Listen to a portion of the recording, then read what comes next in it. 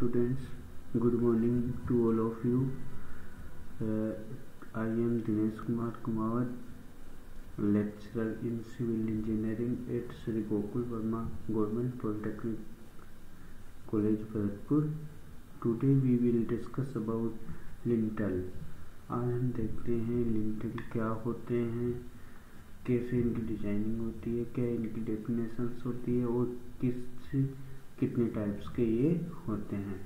तो अगर मैं बात करूँ अगर जैसे मान लो आपको ए, एक कमरा बना रहे हो आप ठीक है?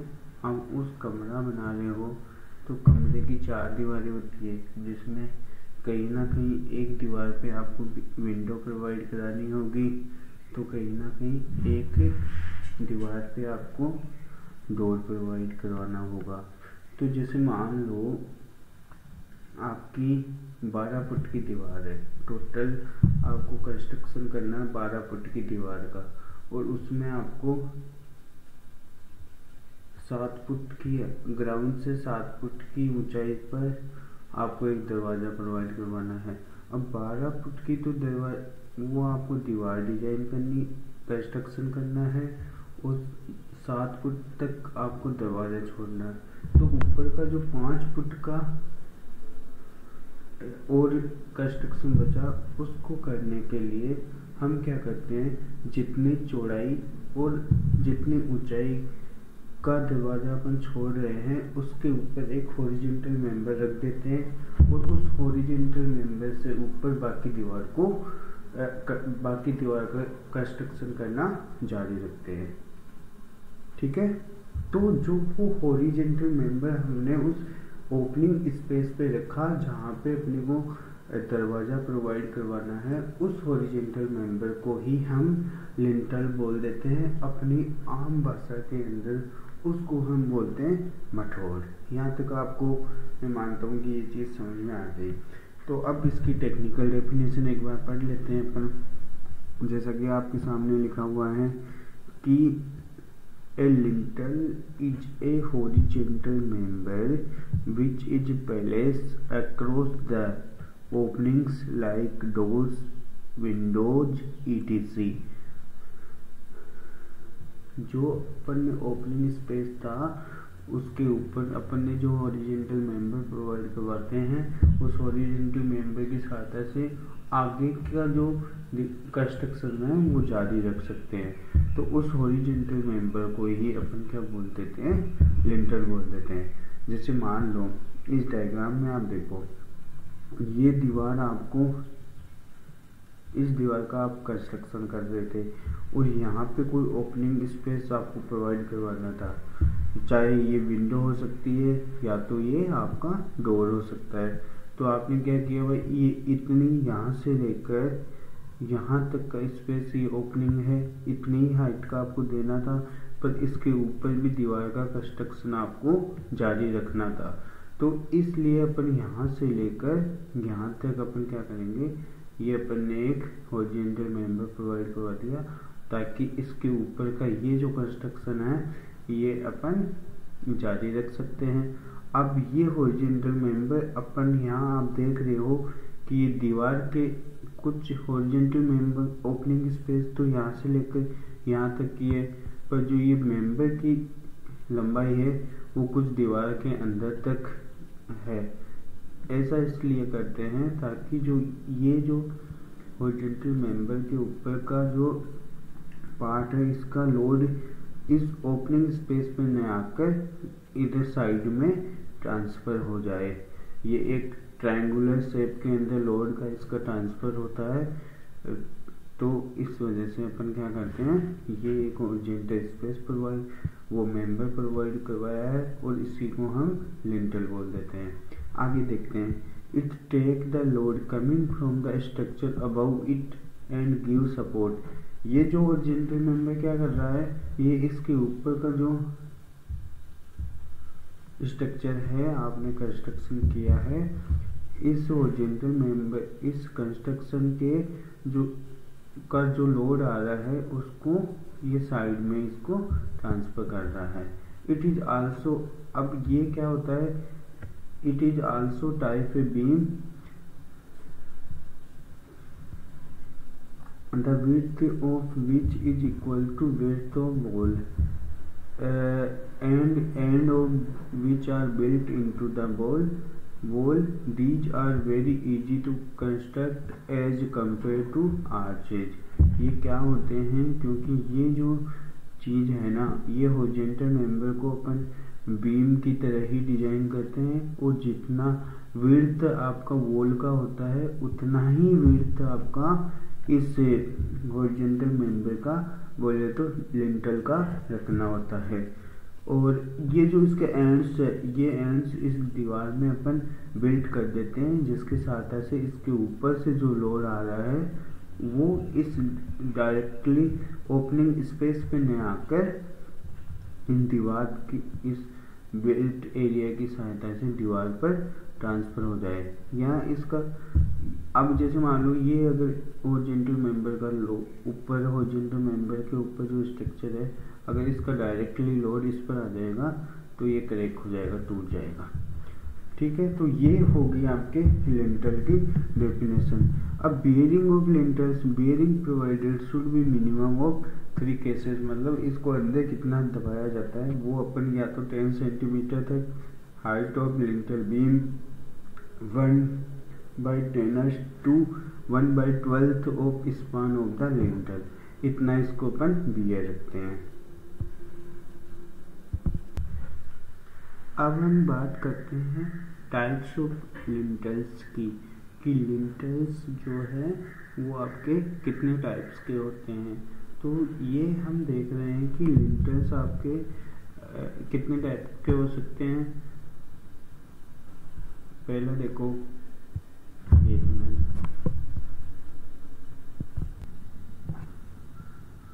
पहला देखो, ये टिम्बर लिंटल्स हो लिंटल हो सकते हैं। Stone bricks steel reinforced concrete lintel और रेनफोर्स्ड ब्रिक्स लिंटल तो ये तीन तीन छह टाइप के आपके हो गए, जिसमें पहला है टिम्बर स्टोन ब्रिक्स स्टील और रेनफोर्स्ड और रेनफोर्स्ड ब्रिक्स लिंटल्स तो ये आपके टाइप्स हो गए इसके लिंटल के। आगे हम बात करते तो यहाँ देखिए, ये जो आपके सामने फिगर दिख रहा है, इसके अंदर ये टिम्बर लिंटल का एग्ज़ाम्पल है। तो देखो, ये इधर, ये आपको यहाँ डोर देना था दीवार के अंदर, और इसके ऊपर ये ओपनिंग स्पेस है। ये जो दरवाज़ा जहाँ दिया है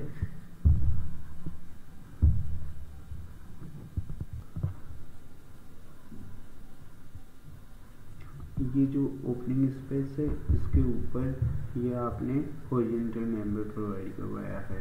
अगर ये ओरिजेंटल मेंबर आपका वुड का होगा, लकड़ी का होगा तो उसको हम टिम्बर लिंटर बोलेंगे। अब ये इसका फिगर दिखाया गया है, ये दीवार है और ये टिम्बर का आपने टिम्बर का आपने ओरिजिनल मेंबर प्रोवाइड करवाया है। अक्सर ये जो इसका टिम्बर का लिंटर्स आप देखोगे तो ये अपन जो कच्ची बस्तियों में देखते थे ना, जहाँ पे अपन बोलते थे छान तो जो छान होती है ना, जो कच्चे घरों में इसको अपन ज़्यादातर केस में देखते हैं, उसके नीचे जो डोर प्रोवाइड करवाते हैं, उसके ऊपर जो हॉरिजेंटल मेंबर प्रोवाइड करवाते हैं, उसको हम टिम्बर लिंटल बोल देते हैं। नेक्स्ट आपका एग्जांपल है। नेक्स्ट आपका स्टोन लिंटल तो ये जो आप देख रहे हो स्ट्रक्चर इमेज के अंदर, इसमें ये जो स्ट्रक्चर है, ये आपका स्टोन का बना हुआ है, ठीक है? तो ये जो विंडो है, ये जो विंडो है, इसके ऊपर ये आपने, ये जो होरिजेंटल प्रोवाइड करवाया है, ये होरिजेंटल मेंबर का ये होरिजेंटल मेंबर अगर स्टोन का हो तो उसको हम स्टोन लिंटल बोल देंगे। नेक्स्ट आपका एग्जांपल है ब्रिक्स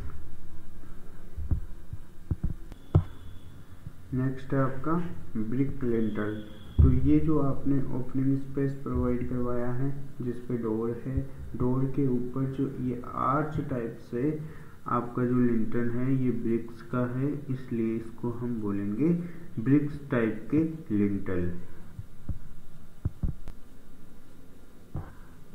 नेक्स्ट है आपका रीनफोर्स्ड ब्रिक्स लिंटल्स ये जो आप देख रहे हो, इसमें ये जो आपका ओपनिंग स्पेस है और इसके ऊपर ये जो ब्रिक्स प्लस रिइंफोर्समेंट का हॉरिजॉन्टल मेंबर प्रोवाइड करवाया हुआ है, इसको हम बोल देंगे ब्रिक्स रिइंफोर्स्ड ब्रिक्स लिंटल्स इसके डायग्राम में अगर देखेंगे तो इसमें ब्रिक्स प्लस रिइंफोर्स्ड दोनों है तो और उसके ऊपर ये हॉरिजॉन्टल मेंबर आपका लगा हुआ है और उसके ऊपर ये आपका आ, क्या कंस्ट्रक्शन हुआ हुआ है।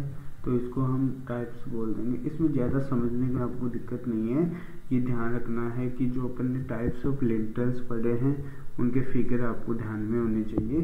तो ये फिगर देख के आप पता लगा सकते हो कि ये ब्रिक्स है, कि ये स्टोन है, कि ये टिम्बर है क्या क्या है, ठीक है?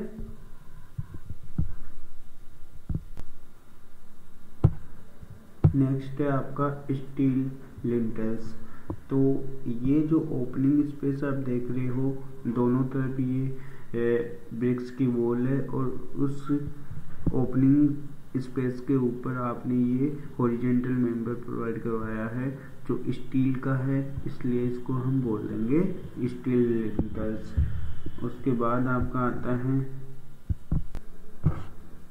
नेक्स्ट है आपका reinforced cement concrete lintels RCC lintel तो ये जो अपन जो आज के दिनों में सबसे ज़्यादा जो यूज़ करते हैं हॉरिजॉन्टल मेंबर एज लिंटल्स तो वो है आपके आरसीसी के। क्योंकि ये ड्यूरेबल भी होते हैं फायर रेजिस्टेंस भी होते हैं, और कॉस्टली भी कम होते हैं। जैसे स्टील का अपन प्रोवाइड करवाएँगे तो वो अपने को कॉस्टली पड़ेगा। और अगर टिम्बर का अपन प्रोवाइड करवाते हैं तो वो कम ड्यूरेबल होते हैं। तो इसलिए जो आरसीसी के लिंटल्स हैं वो सबसे ज़्यादा इफ़ेक्टिव और आज के दौर में प्रोवाइड किए जाने वाले लिंटल्स हैं। तो अपन पढ़ते हैं इसके बारे में। At present the present, of R C C are, are widely used to the openings of four door window etc. in a structure because of their strength, rigidity, fire resistance, economic and easy to construction. RCC lintels are suitable for all the loads and for any span. Uh, the window of width of lintels is equal to width of wall main reinforcement is provided at the bottom and half of these bars are cranked at the end shear stirrups are provided to resist transverse shear क्या मतलब हुआ इस चीज़ का? इस चीज़ का मतलब ये हुआ कि आज की दौर में हम सबसे ज़्यादा अगर कोई horizontal member as a lintel provide करवाते हैं तो वो है आरसीसी के। ऐसा क्यों?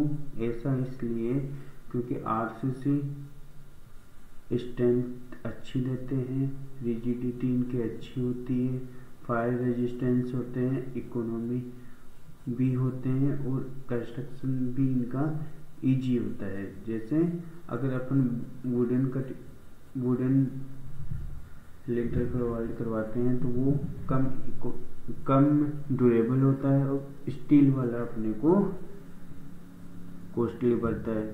तो ये जो आर सी है, ये हम किसी भी साइज़ से, किसी भी डायमेंशन में प्रोवाइड करवा सकते हैं।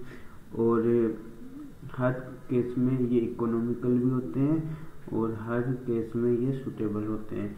और जो लिंटल्स हैं, उनको अपन डिज़ाइन भी एज ए बीम ही करते हैं। बीम में आप देखते हो न्यूट्रल एक्सिस के ऊपर का जोन जो होता है, वो कंप्रेशन जोन होता है और नीचे वाला जोन जो है टेंशन जोन होता है। और टेंशन में ही अपन स्टील रिइंफोर्समेंट पार प्रोवाइड करवाते हैं।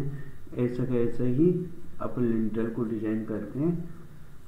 उसके अंदर भी same case same rule follow करते हैं। अब जो shear stirrups are provided to resist transverse shear और जो सी सीयर को रजिस्ट करने के लिए हम क्या करते हैं, इनके अंदर स्टेप्स को प्रोवाइड करवा देते हैं। जैसा कि आप सबने बीम के अंदर पढ़ाई होगा। अब हम बात कर लेते हैं जो लिंटल है, उस पर कौन कौन से लोड आएँगे? तो types of design load on lintel तो इस पे सबसे पहला तो क्या होगा? सेल्फ वेट और dead load on of the जो लिंटल का खुद का सेल्फ वेट होगा ना, वो उस पर आएगा एक तो. और जो उसके ऊपर ओपनिंग के ऊपर जो स्ट्रक्चर बना होगा कंस्ट्रक्टेड स्ट्रक्चर होगा, उसका डेड लोड आएगा. तो dead load of the wall above opening. फिर उसके ऊपर अगर कोई स्लेब डाल रखी है या कोई लाइव लोड है तो एक वो भी आएगा। तो डे तो dead load and live load transferred from roof और फ्लावर सपोर्टेड। उसके ऊपर जो रूफ होगी या रूफ के ऊपर जो स्लेब डाल रखी होगी, उससे लाइव लोड और डेड लोड भी उसका भी ट्रांसफ़र होगा by the wall over opening और ये जो वॉल का खुद का भी ओपनिंग पर जो लोड होगा, वो भी आपके उस पर लोड आएगा।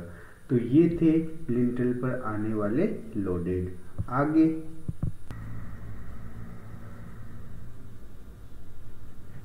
बात करते हैं dead load of the wall above the lintel. जो लिंटल के ऊपर का वॉल का जो लोड आएगा, वो किस वे में ट्रांसफ़र होगा, उसके बारे में हम इस फिगर में बात कर लेते हैं। ये एक ट्रायंगुलर शेप के अंदर जो लिंटल के ऊपर का लोड है, वो लिंटल पर ट्रांसफ़र होगा। एक तो इस तरीके से और दूसरा ये 60 डिग्री संभव त्रिभुज और ये 45 डिग्री दोनों की में ये आपका जो है ट्रांसफ़र हो सकता है।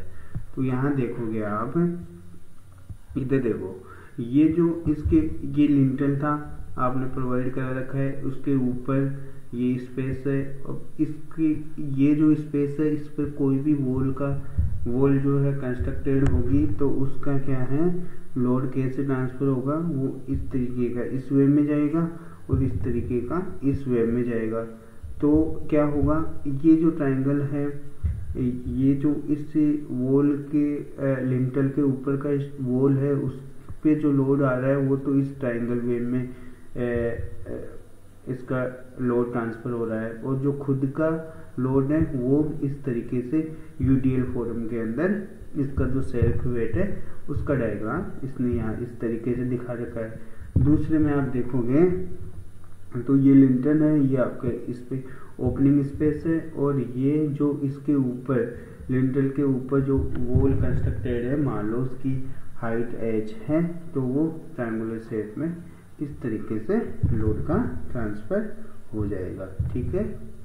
तो यहाँ पे ये सब डिस्ट्रीब्यूशन ऑफ़ लोड आपको दिखा रखा है।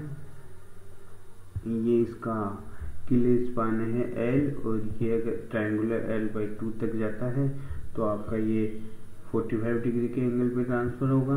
और अगर ट्रायंगुलर आपका एच इससे ज़्यादा जाता है तो वो 60 डिग्री एंगल पर इसका लोड ट्रांसफ़र होगा। तो ये था आपके इस वीडियो के अंदर डिज़ाइनिंग और डिज़ाइन लोड और स्टेप्स के बारे में अपन आगे बात करेंगे। बाकी आपके जो सिलेबस में है, वो टाइप्स ऑफ़ लिंटल है लिंटल की डेफिनेशन है, और ये सब है। ठीक है? तो थैंक यू सो मच